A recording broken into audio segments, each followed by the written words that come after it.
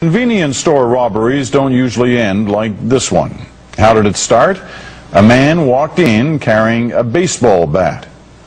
Surveillance video tells the rest. Instead of cash, the store owner pulled out a rifle, a big one, bringing the robber to his knees. He's starting uh, crying. He's a big man. He's crying. He said, I'm sorry, I'm sorry. I have no food. I have no money. I have no job. My family, my whole family hungry for whole weeks. Mohammed Sohail then gave the robber $40 and some bread, making him promise never to rob again. I feel just like it break my heart. So I feel bad for him. He's still crying, begging with me.